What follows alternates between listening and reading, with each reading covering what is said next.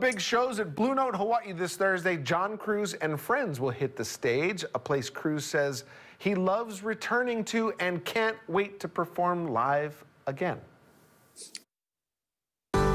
You like her, she's magic. When she's near, your words slip away. Always a pleasure talking to this guy. Johnny Cruz joins us. What's up, John? Awesome. Hey. We're, we're talking about your Blue Note shows coming up this Thursday. Uh, would love to know what folks can expect. Oh, uh, um, well, you can expect some old favorites, of course, some uh, standards, and uh, a handful of new material that I've been dying to play. At the moment, we have a few special guests that are um, uh, almost confirmed and a few unknowns. So uh, we'll, we'll see what happens. Hey, Johnny, uh, it, it's been a while since you've actually done some stuff in person with people. Do, do you still get excited about performing in front of a live audience?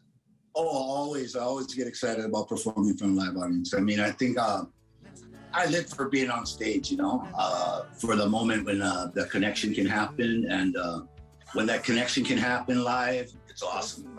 Really looking forward to it because haven't had a chance to very much these days. You've got some exciting news for all of our Living 808 viewers. Something big coming out real soon. Tell us about it. Yeah, I got a new song uh, coming out that was written by myself and my songwriting partner, Mark Hirschler. A song called It's Time to Build a Bridge. It'll be my first officially released new music in like 10 years. Uh, we're doing the video. We're going to release the single in about a month. How exciting is it for you to be able to come out with some new music?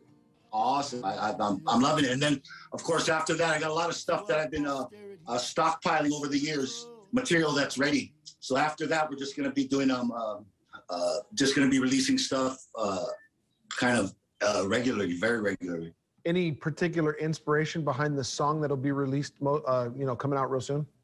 Myself and Mark, we've been writing songs together for about 25 years.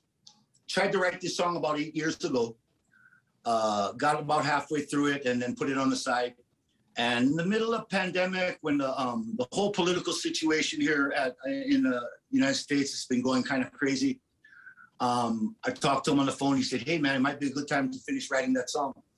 And so uh, it was. It's perfect time to write the song. And the song talks about how we need to, uh, you know, put our differences aside, get together, and build a bridge. You know, get back to ourselves and get back to the people who we love come together right now over me.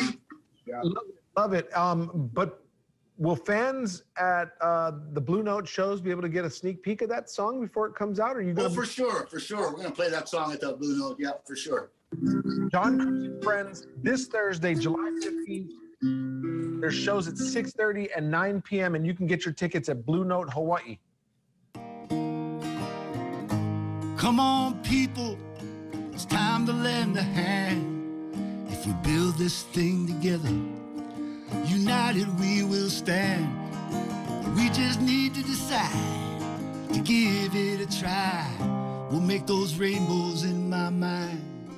Cause I wanna spend some time with you.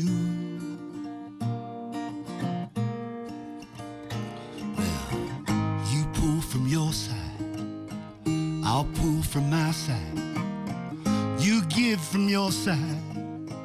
I'll give from my side.